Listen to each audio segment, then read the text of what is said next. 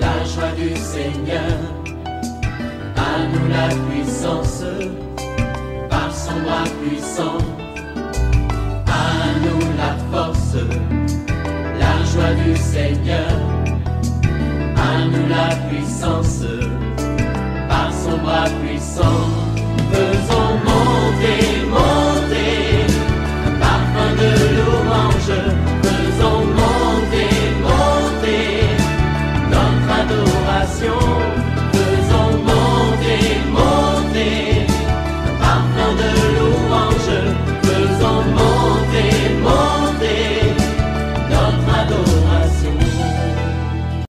L'ennemi s'est levé contre toi pour que tu ne sois pas propriétaire d'une maison, pour que tu ne puisses pas habiter chez toi. Il y a un homme fort qui est sur ton problème de terrain.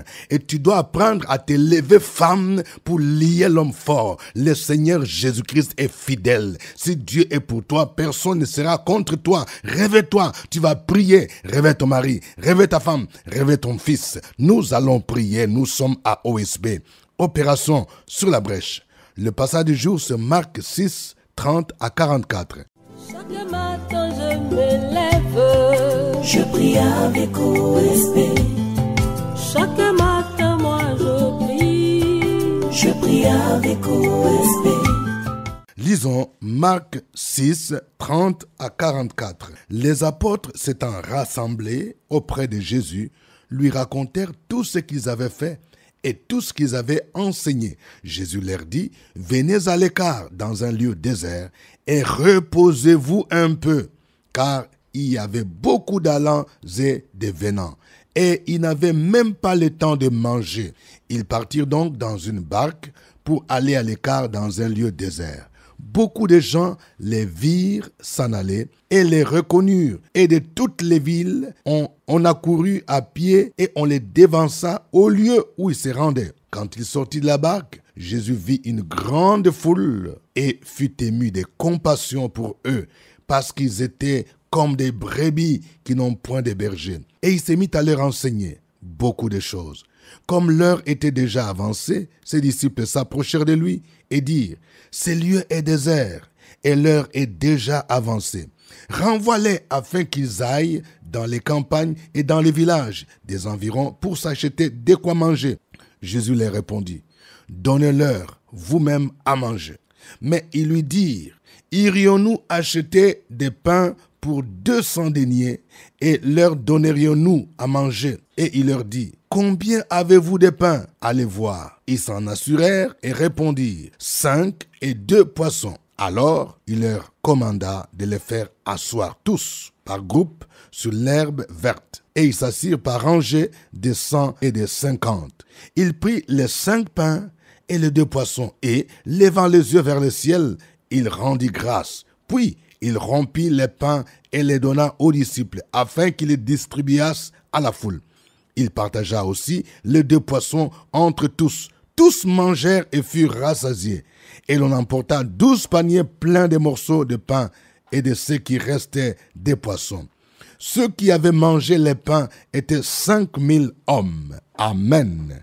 Nous allons partager avec vous, chers auditeurs, auditrices, trois vérités tirées de ce passage. Première vérité, c'est l'importance du repos. Tout le monde a besoin du repos. C'est pourquoi même pour ceux qui travaillent, on a institué ce qu'on appelle les congés annuels. Je vais demander à quelqu'un, regarde-moi bien. Ça fait longtemps que tu travailles, tu n'as même pas du temps de repos. Ne regarde pas aux heures supplémentaires. Le repos est important. Même quand tu es patron, quand tu es chef, le repos est important. Pour nous les hommes de Dieu, les pasteurs, le repos est important. Ce n'est pas tous les jours, à tout temps, on doit être dans le ministère où tu es du lundi jusqu'au dimanche, tu vas à l'église, mais nous devons savoir, on a besoin de se reposer. C'est ça la leçon que Jésus donne ici. Vous voyez? Il dit que les disciples sont partis, ils ont fait le ministère. La Bible nous dit qu'ils sont venus raconter à Jésus tout ce qu'ils avaient enseigné. Après ce temps de ministère, le verset 31 dit, Jésus leur dit, venez à l'écart dans un lieu désert et reposez-vous un peu. Vous voyez, je vais parler à quelqu'un. Quand vous voyez, vous avez un homme de Dieu. qui réellement vous enseigne, qui exerce un ministère, si vous avez la possibilité de lui offrir un billet, de lui offrir même des vacances pour qu'il aille même à l'extérieur du pays, sachez que vous contribuez beaucoup à son ministère à ce qu'il puisse se reposer. Il y a des gens qui ont compris cela, qui payent les vacances à leur pasteur, à leur papa spirituel pour aller se reposer à l'écart. Pourquoi pas aller dans un hôtel quelque part, aller à l'extérieur du pays. Le repos est important. Aujourd'hui, nous voyons, il y a beaucoup de choses qui arrivent. C'est une maladie aujourd'hui qui arrive tout simplement parce que on manque du repos. Donc Jésus donne à ses disciples un conseil pratique. Reposez-vous un peu et mangez. Donc nous devons consacrer du temps pour le repos. Nous devons consacrer du temps pour manger pour se nourrir. Donc nous devons être équilibrés entre notre vie personnelle, notre repos, notre vie familiale et le ministère. Deuxième vérité, ne regardons pas aux obstacles. Le Seigneur peut opérer le miracle.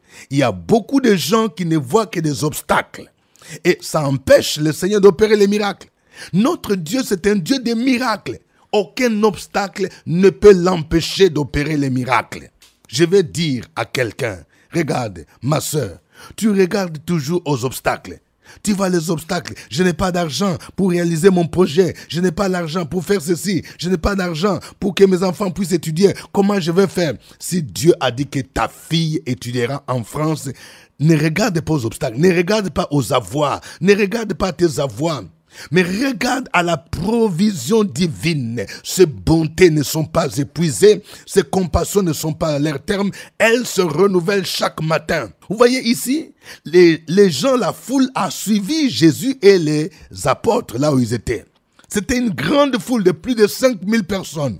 Et quand Jésus a commencé à enseigner, la Bible nous dit qu'il était ému de compassion de voir ces gens-là. Ils étaient là. Ils ont fait environ trois jours. Maintenant, il y avait un besoin. Il fallait le nourrir. C'est ce qu'on appelle la vision holistique. Aujourd'hui, nous devons avoir cette vision. C'est-à-dire, il faut que l'Église nous apprenions, oui, à donner la parole de Dieu, mais aussi à nous occuper du corps, de l'âme des individus. C'est ça. Les gens avaient besoin de la nourriture. C'est pourquoi on n'a pas besoin d'être pauvre. Aujourd'hui, il faut quitter cette vision d'une Église qui ne fait que commander. Aujourd'hui, nous devons avoir des ressources, avoir, va produire même des richesses pour aider les gens. Il est dit ici, au verset 35, comme l'heure était déjà avancée, ses disciples s'approchaient de lui et dirent, ce lieu est désert.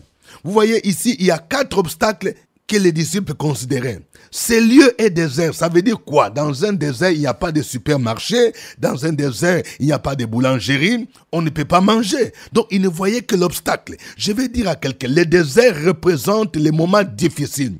Laisse-moi te dire, regardez, depuis les temps anciens, c'est dans le désert que Dieu opérait le plus de miracles. Femme, tu es en train de vivre un désert. Homme, tu es en train de vivre un temps de désert. Mais ne regarde pas ce désert-là, ce désert de chômage. Dieu est capable de te bénir de manière extraordinaire. L'autre obstacle qu'il regardait, c'est quoi? C'est l'heure. On dit, l'heure est déjà avancée. L'heure est avancée, ça veut dire quoi? Il y a beaucoup de gens qui regardent euh, à leur âge. Je vais demander à une jeune dame, écoute-moi bien, tu dis vraiment à 45 ans, ça devient difficile, il y a la famille, les parents qui te pressent, quand est-ce que tu vas nous donner un bébé? Et tu es tenté de sortir avec quelqu'un pour avoir le bébé. Ce n'est pas bon. Attends le mariage. Dieu t'a déjà montré que tu vas te marier. Même à 50 ans, le mariage est possible. Est-ce que tu comprends? Même à 50 ans, tu peux encore enfanter. Si Dieu a fait enfanter Sarah et Abraham, il fait, il peut le faire pour toi. Et ton cas sera spécial. Ton cas sera un témoignage. Tiens bon. Ne regarde pas l'heure. Il ne faut pas dire l'heure est déjà dépassée. Je vais dire à quelqu'un, oui, une femme, tu importunes ton mari, tu dis, vraiment, on a déjà, l'âge est déjà avancé, on n'a pas encore de maison, on n'a rien fait pour les enfants. C'est que les gens ont reçu pendant pendant 10 ans, 15 ans, lorsque vous marchez avec Jésus, en un an, en cinq ans, vous pouvez les avoir. Avec Jésus, il n'y a pas de retard. C'est ce langage-là. Confie-toi au Seigneur, le miracle est possible. J'aimerais dire à quelqu'un, c'est maintenant la saison de l'explosion de gloire dans ta vie. Regarde à Jésus et crois au miracle. Il ne faut pas dire, l'ère est déjà avancée, le temps est déjà passé. Il fallait que nous fassions quelque chose à l'an 2000, à l'an 1900, quelque chose. Non. Avec Jésus, il n'y a pas de retard. L'autre obstacle, c'était la foule. Il y avait plus de 5000 personnes. Il disait, est-ce qu'on peut nourrir ces gens-là? Il regardait à la petitesse de ce qu'ils avaient. Ne regarde pas la petitesse de ce que tu as. Écoutez ce qu'ils disent. Il dit ici, au verset 37, Jésus leur répondit, Donnez-leur vous-même à manger. Mais ils lui dirent, Irions-nous acheter des pains pour 200 deniers? Et leur donnerions-nous à manger? Donc ils voyaient que ce qu'ils avaient là, ils n'avaient pas assez d'argent. Pour nourrir tous ces gens-là, il fallait 200 deniers. Ils n'avaient pas cela. Le Seigneur est capable de pouvoir à tes besoins selon sa richesse. Troisième vérité concerne l'atmosphère du miracle. Vous voyez, quand nous voyons ce passage, il y a l'atmosphère qui permet à Dieu d'opérer les miracles. C'est quoi? Il y a trois petites choses ici qui créent cette atmosphère-là. D'abord, premièrement, apprenons à donner à Jésus nos cinq pains et nos deux poissons. Ça veut dire quoi? Ce que tu considères comme petit là, apprends ça à donner à Jésus. Il y a des gens qui ne donnent pas les offrandes parce qu'ils disent, moi je ne travaille pas, je suis chômeur, ce que je gagne là, ça ne suffit même pas pour payer mon loyer. Le peu que tu as, apprends à donner. Vous voyez, c'est ça qui va produire les miracles. Apprends à donner, il ne faut pas mépriser cela. C'est lorsqu'ils ont donné les cinq pains et les deux poissons que Jésus a opéré les miracles. Deuxième élément qui montre l'atmosphère du miracle, c'est l'ordre et la discipline. Le Seigneur n'aime pas les désordres. Les gens qui font les désordres en criant, en se lamentant, en cherchant à créer des problèmes. Non. La Bible nous dit au verset 39, alors il leur commanda de les faire tous asseoir par groupe sur l'herbe verte. Et ils s'assirent par rangées de 100 et de 50. Faisons les choses dans l'ordre. Et troisième élément qui crée l'atmosphère du miracle, c'est l'esprit d'amour et de partage. Vous voyez, ne demandons pas des choses pour que on puisse parler de nous. Lorsque Jésus nous bénit là, il veut que cette bénédiction puisse profiter à d'autres personnes. Vous l'amour et le partage. Vous voyez?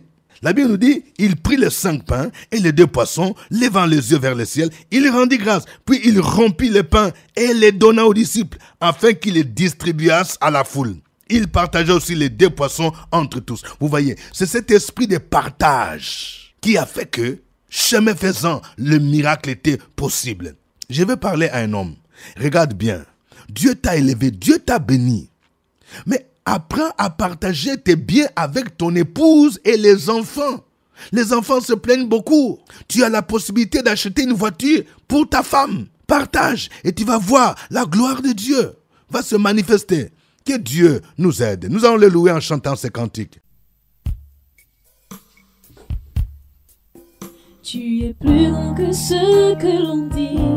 Jéhovah, tu es plus grand que ce que l'on dit. Tu es plus grand que ce que l'on dit.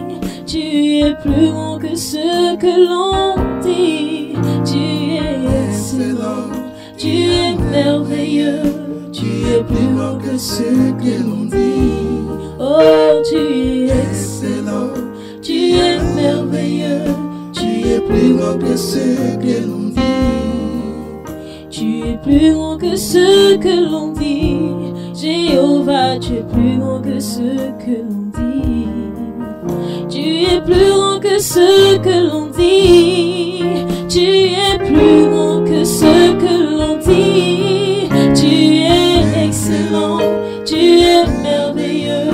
Tu es plus grand que ce que l'on dit. Oh, tu es excellent, tu es merveilleux, tu es plus grand que ce que l'on dit.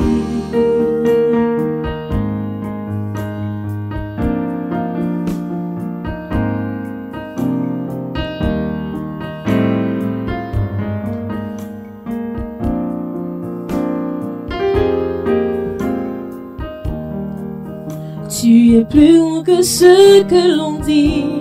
Jéhovah, tu es plus grand que ce que l'on dit. Tu es plus grand que ce que l'on dit. Tu es plus grand que ce que l'on dit. Tu es excellent. Tu es merveilleux. Tu es plus grand que ce que l'on dit. Oh, tu es excellent. Tu es merveilleux. Tu es plus grand que ce que l'on dit. M'a dit qu'il n'y avait plus d'espoir pour moi, que mon avenir était bafoué, que j'étais né pour échouer. Mais quand tu t'es révélé à moi, montré que tu pouvais faire au-delà et au-dessus de ce que je pouvais penser, imaginer. Tu es excellent, tu es merveilleux, tu es plus grand que ce que l'on dit. Oh, tu es excellent, tu es merveilleux, tu es plus grand que ce que l'on dit. On m'a dit qu'il n'y avait plus d'espoir pour moi, que mon avenir était bafoué, que j'étais né pour échouer. Mais quand tu tu pouvais faire au-delà et au-dessus de ce que je pouvais penser, imaginer. Excellent, Tu es merveilleux. Tu es plus grand que ce que l'on dit. Oh, tu es Excellent, tu es merveilleux. Tu es plus grand que ce que l'on dit.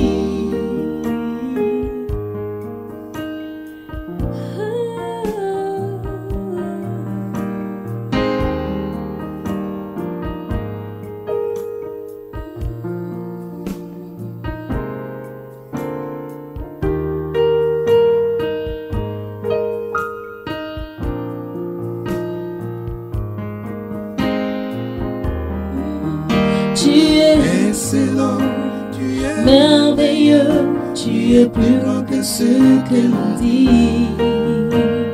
Excellent, merveilleux. Tu es plus grand que ce que l'on dit. Excellent, merveilleux. Tu es plus grand que ce que l'on dit. Gloire à Dieu. Élevons tous ensemble nos voix. Bénissons le Seigneur pour sa bonté, sa fidélité. La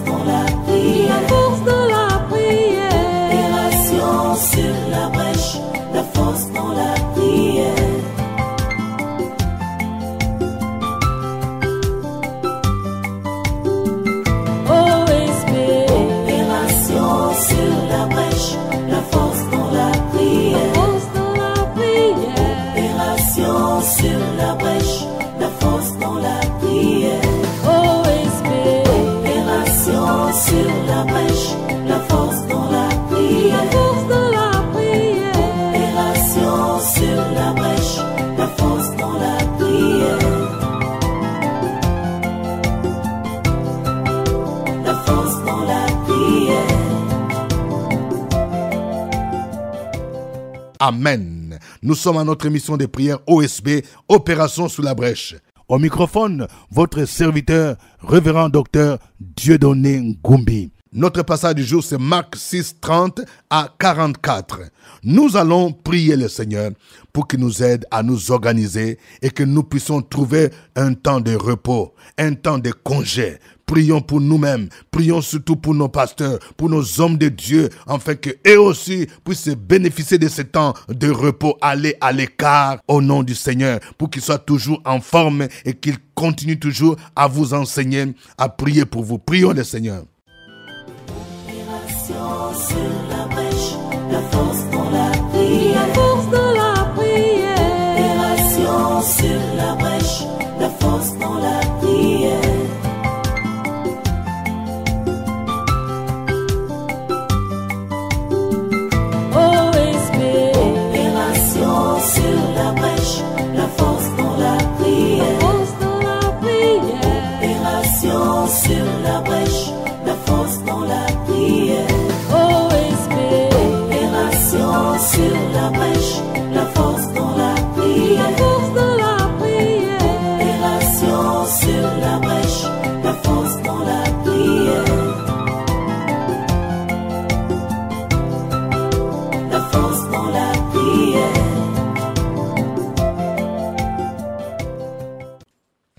Nous te célébrons, ô Dieu, nous te célébrons.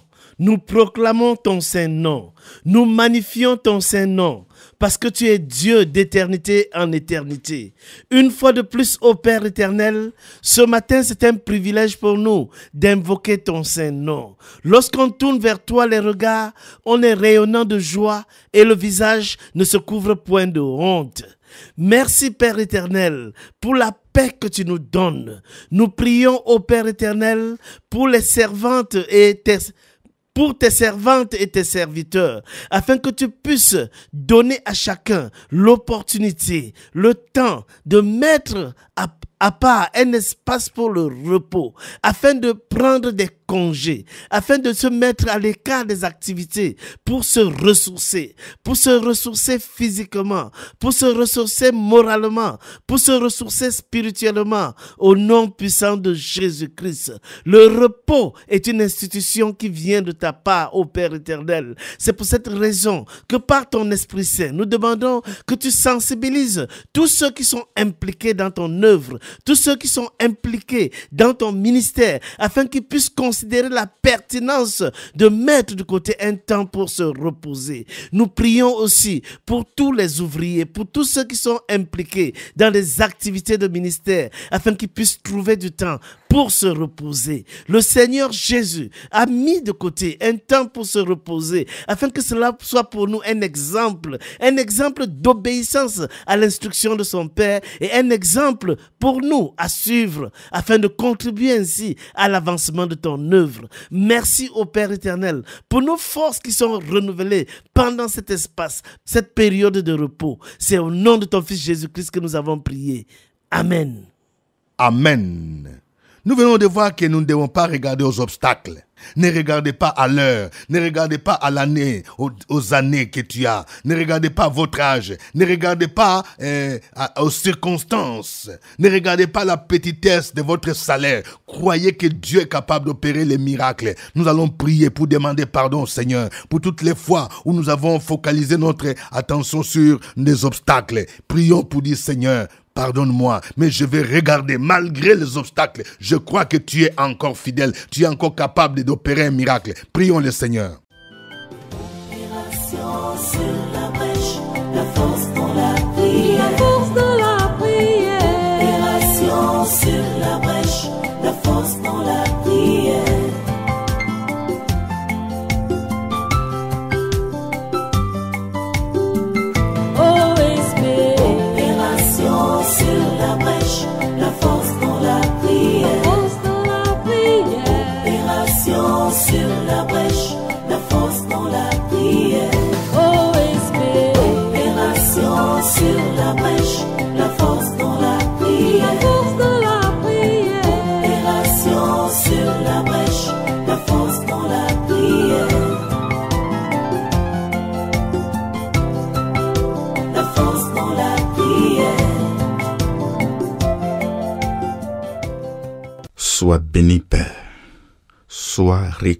Comme le véritable, le maître des temps et des circonstances, celui qui a le cœur de tout homme dans tes mains, comme un courant d'eau et l'oriente où il veut.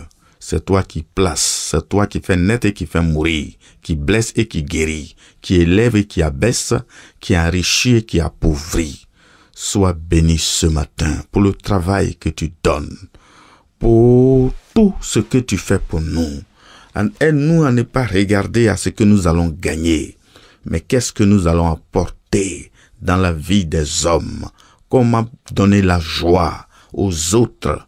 Comment permettre pour que des vies soient changées? Notre Dieu, à savoir que le pouvoir t'appartient.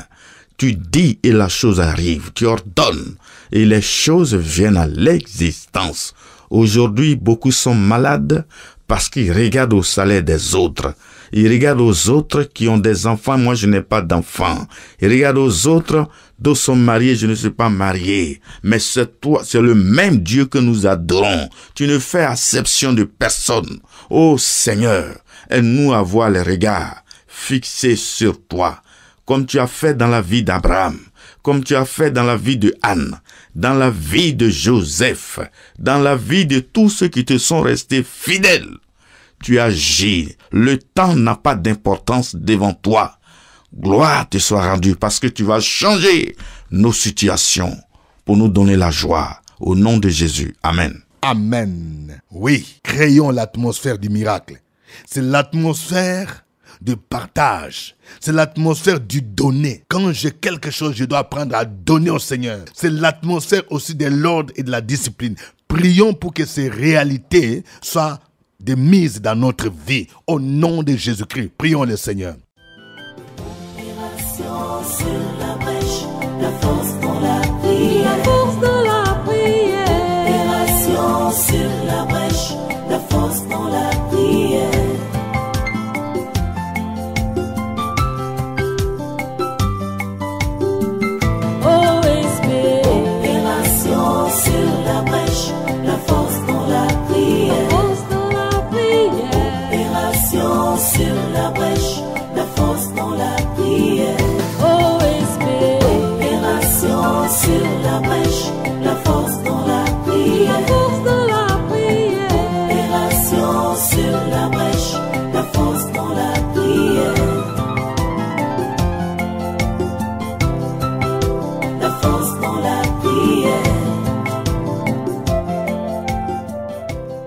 Que la gloire te revienne ce matin. Acclamation à toi, élévation à toi, psalmodie à toi, Seigneur.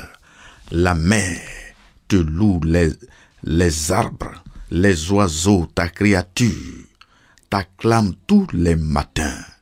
Et nous aussi à nous joindre à cette mouvance pour t'adorer. Permets-nous, Seigneur, d'avoir une disposition de miracle. Cette disposition, notre Dieu, c'est la foi. C'est la soumission à Dieu, la crainte de Dieu, le service de Dieu, la prière, la méditation de ta parole, avoir foi à tes promesses et compter sur toi. Notre vœu ce matin, notre vœu ce matin, c'est aussi la discipline.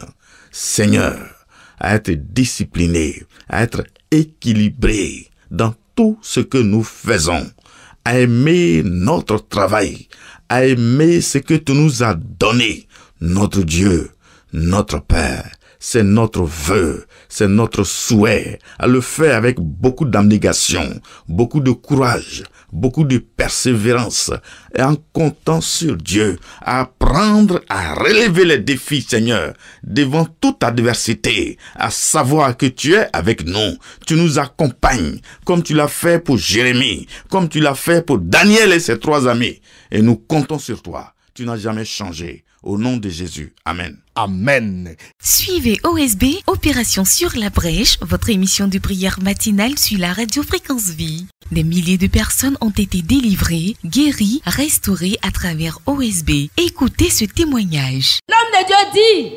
réveille-toi, s'il a fait pour Sarah Abraham, et pourquoi pas toi, ton miracle arrive. Oh, OSB, OSB. Je vais dire merci ce matin à OSB et dire merci à mon Dieu ce matin parce qu'il y a quelqu'un qui m'a honni pendant des années. Qu'on appelle la sirène des eaux, que ma famille adore à cause de la chefferie. Ma vie a été consacrée à cet esprit. Et tout ce que je fais, rien ne me réussit. Il n'y a pas de mari, pas d'enfant, pas d'emploi, alors que j'ai été à l'école. Et vraiment, avec OSB, quand j'ai commencé à prier, prendre les sept jours, vraiment, Dieu même s'est descendu dans ma vie, dans ma maison. Et j'ai eu une onction forte où Dieu m'a déclaré. Il dit, aujourd'hui, ta vie est libérée. Le tyran a quitté ta vie. Tu étais dans la prison. Tu es sorti de cette prison aujourd'hui. Tu es libéré définitivement. Et quand on est venu encore ce matin, l'homme de Dieu a réitéré ça. Et j'ai reçu la même onction. Vraiment, je bénis de ça parce que je sais que si je quitte ici, mon mariage est propre, mon mariage est propre, tout est propre. Que Dieu vous bénisse. Au revoir. À nous la force, la joie du Seigneur. À nous la puissance, par son bras puissant. À nous la force, la joie du Seigneur. À nous la puissance, par son bras puissant. faisons monter.